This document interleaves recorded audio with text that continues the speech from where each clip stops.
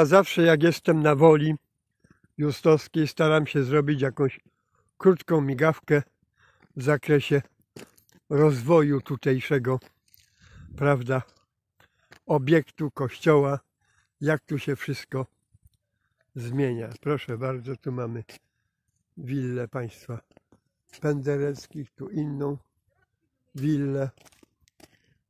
Tu widać, że już kościół się rozwija, słońce świeci, zmiany tu są wielkie, widać. Parking się przygotowuje, dzieci, młodzież. Proszę bardzo. Tutaj wejdę troszkę do cienia, będzie, będzie lepiej widać.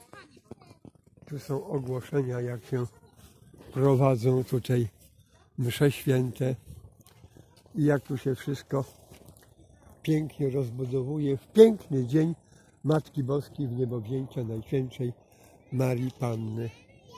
Więc to jest takie, a za chwilę przedstawię wersję dokładniejszą.